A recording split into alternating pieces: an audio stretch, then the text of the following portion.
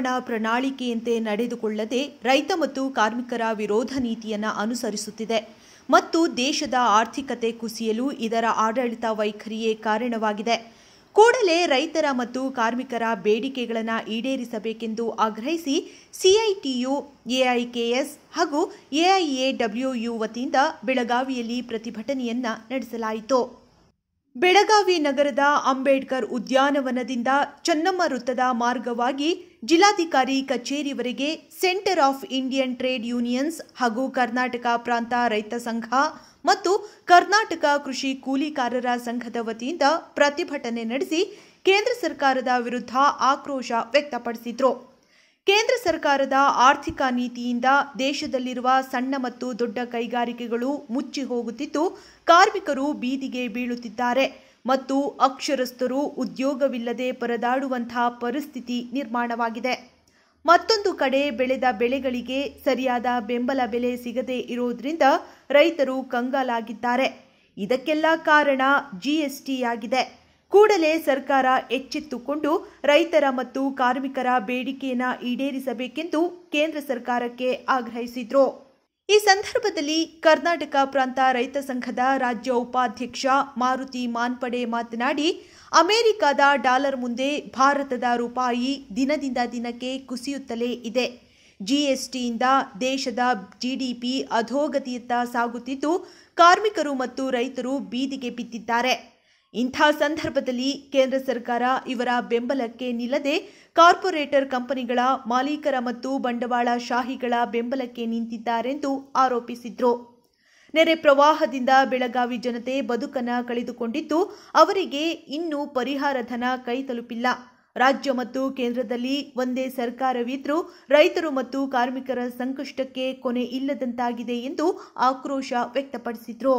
ಈ ಸಂದರ್ಭದಲ್ಲಿ VP Kulkarni, GM Jainekhana, LS Nayak, Shivamurthy Jindrala, Nagesh Asallanavara, Kashima Sabha Nesaragi ಸೇರಿದಂತೆ ನೂರಾರು ಸಂಖ್ಯೆಯಲ್ಲಿ ರೈತರು ಮತ್ತು ಕಾರ್ಮಿಕರು ಪ್ರತಿಭಟನೆಯಲ್ಲಿ ಪಾಲ್ಗೊಂಡಿದ್ದರು ಇವತ್ತಿನ ಮುಖ್ಯವಾದಂತ ಕಾರಣ ಮೋದಿ ಅವರು ಎಷ್ಟೆಲ್ಲ ಹೇಳಿದ್ರು ಕೂಡ ತಮ್ಮ ಹೊಂಬತನನ್ನ ಬಿಡಲಾರದೆ ಈ ದೇಶವನ್ನ ಅಧೋಗತಿಗೆ ಪ್ರಪಾತಕ್ಕೆ ತಳ್ತಾ ಇದ್ದಾರೆ. ಅಮೆರಿಕದ ಡಾಲರ್ ಮುಂದೆ ಭಾರತದ ರೂಪಾಯಿ ಎಪ್ಪತ್ತೊಂಬತ್ತು ರೂಪಾಯಿ ಆಗಿದೆ. ನಮ್ಮ ಆರ್ಥಿಕತೆ ಪೂರ್ತಿ ಕುಸಿದೋಗಿದೆ ದಿನಾಲು ಹತ್ತತ್ತು ಲಕ್ಷ, ಹದಿನೈದು ಲಕ್ಷ ಉದ್ಯೋಗ ಕಳ್ಕೊಂಡಿದಂತ ಸುದ್ದಿಗಳು ಬರ್ತಾ ಇದೆ. ನಮ್ಮ ನೌಕರಿ ಉಳಿಲಿಕ್ಕತ್ತಿಲ್ಲ. ನಮ್ಮ ನಮ್ಮ ಮಕ್ಕಳಿಗೆ ನೌಕರಿ ಸಿಗೋದಿಲ್ಲ ಅಂತ ಒಂದು ಕಷ್ಟ ಪರಿಸ್ಥಿತಿ ದೇಶಕ್ಕೆ ಮೋದಿ ಸರ್ಕಾರ ತಂದೊಡ್ಡಿದೆ. ಇಂಥ ನೀತಿ ವಿರುದ್ಧ ಇವತ್ತು ದೇಶದಾದ್ಯಂತ ಹೋರಾಟ ನಡೆಸ್ತಾ ಇದೀವಿ ಅವರು ಇನ್ನಷ್ಟು ಉಪಕಾರ ಮಾಡಿದ್ದಾರೆ. ಏನು ಉಪಕಾರ? ನಲವತ್ತು ನಾಲ್ಕು ಕಾರ್ಮಿಕ ಕಾಯ್ದೆಗಳನ್ನು ತಿದ್ದುಪಡಿ ಮಾಡಿ ದೇಶದ ಇವತ್ತು ಮುಖ್ಯವಾದಂತ ಹಣಕಾಸಿನ ವ್ಯವಹಾರ ನಡೆಸತಕ್ಕಂತ ಉದ್ಯಮಪತಿಗಳಾದಂತ ಹದಿನೈದು ಕುಟುಂಬಗಳಿಗೆ ಎಲ್ಲಾ ರೀತಿಯಲ್ಲಿ ಸಹಾಯ ಮಾಡಕ್ಕೆ ನಮ್ಮ ದೇಶದ ಆರ್ಥಿಕತೆಯನ್ನು ಒತ್ತಿಟ್ಟಿದ್ದಾರೆ. ಅದರಲ್ಲಿ ಅದಾನಿ, ಅಂಬಾನಿ, ಅವರ ಗೆಳೆಯರೇನಿದ್ದಾರೆ ಎಲೆಕ್ಷನ್ಗೆ ದುಡ್ಡು ಕೊಟ್ಟು ಇವರಿಗೇನು ಗುಲಾಮಗಿರಾಗಿ ಇಟ್ಕೊಂಡಿದ್ದಾರೆ ನಮ್ಮ ದೇಶದ ಪ್ರಧಾನಮಂತ್ರಿಗೆ ಅವರು ಗುಲಾಮಗಿರಿಯನ್ನು ಒಪ್ಪಿಕೊಂಡು ನಮ್ಮ ದೇಶದ ಸಂಪತ್ತನ್ನ ಕೊಳ್ಳೆ ಹೊಡಿಲಿಕ್ಕೆ ಅವರಿಗೆ ಅವಕಾಶನ ಮಾಡಿಕೊಟ್ಟು ನಮ್ಮನ್ನೆಲ್ಲ ಬರ್ಬಾದ್ ಮಾಡ್ತಾ ಇದ್ದಾರೆ, ನಮ್ಮನ್ನ ಹಾಳು ಮಾಡ್ತಾ ಇದ್ದಾರೆ ಅನ್ನೋದು ಒಂದು ಕಡೆ ನಮ್ಮ ಕಣ್ಣಿಗೆ ರಾಚುವಂಗ ಕಾಣುತ್ತೆ. ಇಡೀ ದೇಶದಲ್ಲಿ ಇವತ್ತು ಏಳು ಲಕ್ಷ ಕೋಟಿ ರೂಪಾಯಿ ಕೊರತೆ ಬಜೆಟ್ ಅನ್ನ ಮಂಡನೆ ಮಾಡಿ ಆರ್ಥಿಕತೆ ದಿವಾಳಿಯನ್ನು ತಂದು ಒಂದು ಲಕ್ಷ ಎಪ್ಪತ್ತಾರು ಸಾವಿರ ಕೋಟಿ ಇವತ್ತೇನಿದೆ, ರಿಸರ್ವ್ ಬ್ಯಾಂಕಿನ ಹಣನ ತಗೊಂಡು ಇವತ್ತು ನಡೆಸ್ತಾ ಇದ್ದಾರೆ.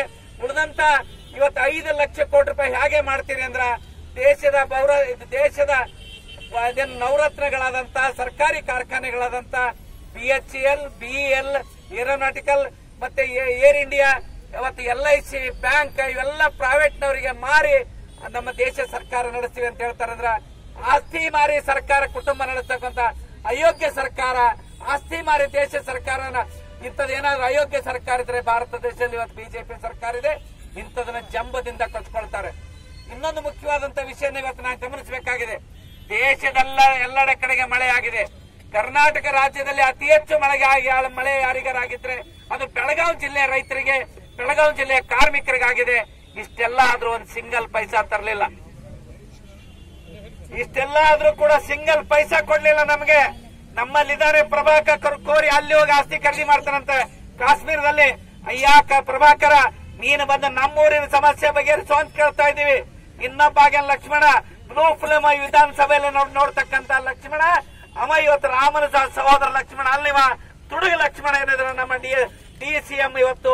ಕಿಂಚಿತ್ ಒಂದು ರೂಪಾಯಿ ಕೂಡ ಪರಿಹಾರಧನನ್ನ ಡೆಲ್ಲಿಯಿಂದ ಮಹಾರಾಷ್ಟ್ರದಲ್ಲಿ ಮಳೆಯ ಅಬ್ಬರ ಮುಂದುವರೆದಿದ್ದು, ಬೆಳಗಾವಿ ಜಿಲ್ಲೆ ಮತ್ತೆ ಆತಂಕಕ್ಕೀಡಾಗಿದೆ.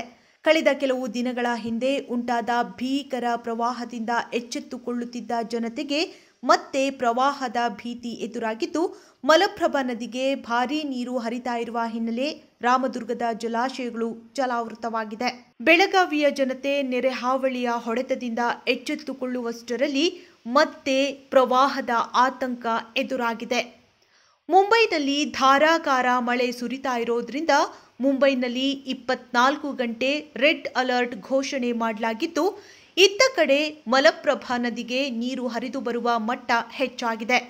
ಸುಮಾರು ಐದು ಸಾವಿರ ಕ್ಯೂಸೆಕ್ ನೀರು ಹೊರ ಹರಿದು ಬರ್ತಾ ಇದ್ದು ರಾಮದುರ್ಗ ಮತ್ತು ಸುರೇಬಾನಗೆ ಸಂಪರ್ಕ ಕಲ್ಪಿಸುವ ಸೇತುವೆ ಸಂಪೂರ್ಣ ಜಲಾವೃತವಾಗಿದೆ. ಮಳೆ ನಿರಂತರವಾಗಿ ಮುಂದುವರೆದಿದ್ದು, ಮಲಪ್ರಭಾ ನದಿಗೆ ಮತ್ತಷ್ಟು ನೀರು ಬಿಡುವ ಸಾಧ್ಯತೆ ಇರೋದ್ರಿಂದ ನದಿ ಪಾತ್ರದ ಜನರು ಸುರಕ್ಷಿತ ಸ್ಥಳಕ್ಕೆ ತೆರಳುವಂತೆ ರಾಮದುರ್ಗ ತಹಶೀಲ್ದಾರ್ ಬಸವರಾಜ್ ಸೂಚಿಸಿದ್ದಾರೆ. ಕಾಂಗ್ರೆಸ್ ನಾಯಕ ಡಿಕೆ ಶಿವಕುಮಾರ್ ಬಂಧನ ಖಂಡಿಸಿ ನಾಗಮಂಗಲ ಕಾಂಗ್ರೆಸ್ ಮುಖಂಡ ಪಟ್ಟಣದ ಮುಖ್ಯ ರಸ್ತೆಯಲ್ಲಿ ಪ್ರತಿಭಟನಾ ಮೆರವಣಿಗೆ ನಡೆಸಿದ್ರು. ಪಟ್ಟಣದ ಕಾಂಗ್ರೆಸ್ ಕಚೇರಿಯಿಂದ ಮೆರವಣಿಗೆ ಬಂದ ಯೂತ್ ಕಾಂಗ್ರೆಸ್ ಮುಖಂಡರು ಟಿ. ಮರಿಯಪ್ಪ ವೃತ್ತದಲ್ಲಿ ನಿಂತು ಪ್ರತಿಭಟಿಸಿ ಇಡಿ ಮತ್ತು ಐಟಿ ಅಧಿಕಾರಿಗಳ ವಿರುದ್ಧ ಧಿಕ್ಕಾರ ಕೂಗಿದ್ರು. ಈ ವೇಳೆ ಮಾತನಾಡಿದ ಕಾಂಗ್ರೆಸ್ ಮುಖಂಡ ಎಂ ಪ್ರಸನ್ನ, ಬಿಜೆಪಿ ತನಿಖಾ ಸಂಸ್ಥೆಗಳ ದುರ್ಬಳಕೆ ಮಾಡಿಕೊಂಡು ಡಿಕೆ ಶಿವಕುಮಾರ್ ವಿರುದ್ಧ ದ್ವೇಷ ರಾಜಕಾರಣ ಮಾಡ್ತಾ ಇದೆ. ಐಟಿ ಮತ್ತು ಇಡಿ ಅಧಿಕಾರಿಗಳ ಮೂಲಕ ಬಿಜೆಪಿ ನೀಚ ರಾಜಕಾರಣ ಮಾಡ್ತಾ ಇದೆ ಎಂದು ಆಕ್ರೋಶ ವ್ಯಕ್ತಪಡಿಸಿದರು. ಹಾಗೂ ನಮ್ಮ ನಾಯಕರಾದ ಡಿಕೆ ಶಿವಕುಮಾರ್ ಬಿಜೆಪಿಯವರ ಷಡ್ಯಂತ್ರಕ್ಕೆ ಕುಗ್ಗುವವರಲ್ಲ.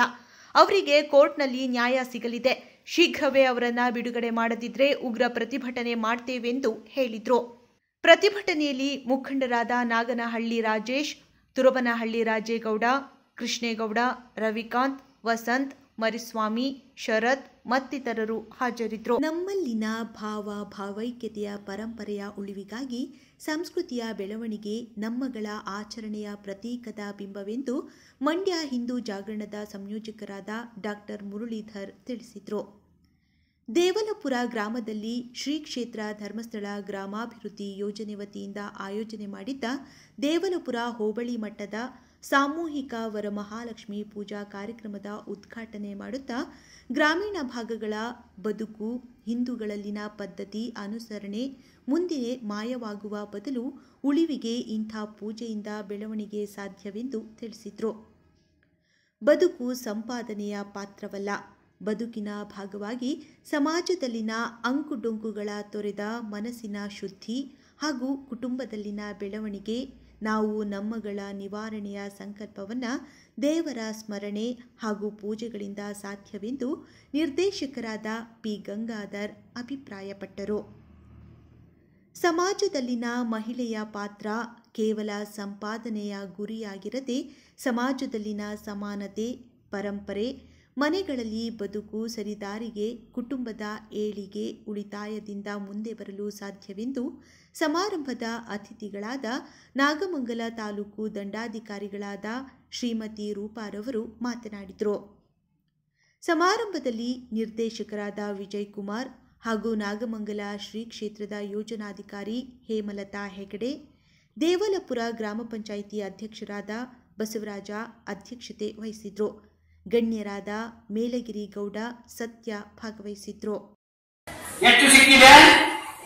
ಅವನಿಗೆ ಒಂದೇ ಬಟ್ಟೆ ಸಿಕ್ಕಿದೆ. ದಿನಾ ಚಿನ್ನ ಬಟ್ಟೆ ಇಲ್ಲದ ಕೋಳಿ ಸತ್ತು ಹೋಯ್ತು, ಚಿನ್ನವೂ, ಚಿನ್ನದ ಬಟ್ಟೆ ಕೂಡ ಇಲ್ಲ. ಹಾಗೆ ನೀವು ಸಂಘವನ್ನು ಮುಗಿ ಬರಕಾಸು ಮಾಡಿದರೆ ಏನಾಗುತ್ತೆ? ಸಂಘವನ್ನು ಬಿಟ್ಟು ಬಿಟ್ರೆ ನಿಮಗೆ ಮುಂದಿನ ಲಾಭ ಪ್ರಯೋಜನಗಳು ಸಿಗೋದಿಲ್ಲ ಆದ್ದರಿಂದ ಐದು ವರ್ಷ ಅಂತಲ್ಲ, ನಮ್ಮಲ್ಲಿ ಇಪ್ಪತ್ತೈದು ವರ್ಷ ಆದ ಸಂಘಗಳು ಕೂಡ ಇವತ್ತು ಬಹಳ ಚೆನ್ನಾಗಿದೆ. ಅಮ್ಮ ಕೂತ್ಕೊಳ್ಳಿ ಕೂತ್ಕೊಳ್ಳಿ